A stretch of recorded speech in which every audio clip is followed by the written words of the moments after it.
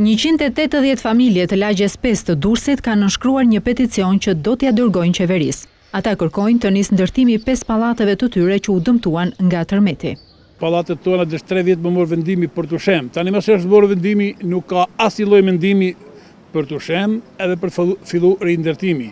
Kemi përgatitë një peticion, na kërkojmë shemjen, dhe rindërtimin. Bashkia na ka vu nji letër me dal deri me datë katërmbëdhjetë duhet të nxirrni plaçkat para para dy muajsh ate ne nxorëm plaçkat cop cop gjitha plaçkat u prishën po të paktën të marrim shpinë. Këshilli Bashkiak të ekzekutohen sa më parë, sepse kemi dy vjet që ka dalë vendim prishje dhe ne nuk marrim asnjë përgjigje.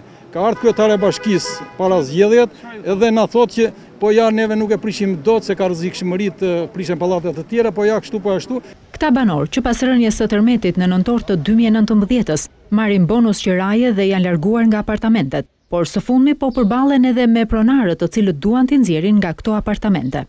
Neve jemi me qera, dhe qera neve kemi lidhë një kontratë të 200.000 lekë sa marr unë, mirëpo këta tani po na i rrisin e po na nxjerrin jashtë në rrugë. Ka një të keqë se na kanë vu njoftimet me dalë nga shpijat me qera për arsye se i duen për plazh ato.